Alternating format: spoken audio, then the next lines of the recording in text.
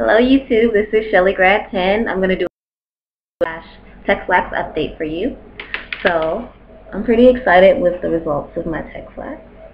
Um, it's not super straight like you would see with a relaxer, but I love it. I like. I like the thickness. So here is the length before I measure it. I'm going to measure it for you guys. This is side.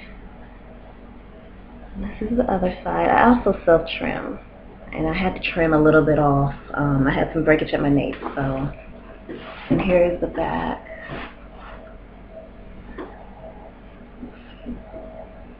And this is my bra strap. So I brought it up a little bit. Okay. Now I'm going to measure it. I measure my hair top to bottom. Some people do it differently, and that's okay do what works for you, but I've done this consistently. Okay. And so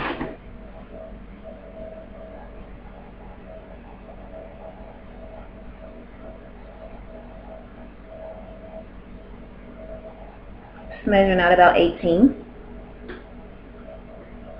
And then we do the other side, top to bottom.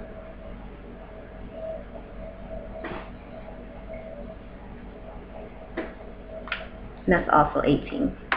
So I was about 19 and a half. So I mean, it's a length. I mean, health over length, but um, I think that's good progress based on what I've cut. Um, and yeah, this is just the size.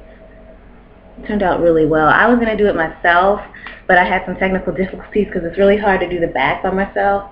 Um, so my mom ended up taking over, and I would just advise you if you don't know what you're doing. Do not do it because your hair will fall out. It's very serious chemical. So I actually ended up having to stop and just turn it over to her because this just was too much for me. I, I might try it again in the future, but um, I would do it with someone there who can help me. But so thank you so much for watching my length check video. If you have any questions, you can comment or message me. And please subscribe. Those who have already subscribed, thank you so much. I really appreciate it. Have a good day. Bye.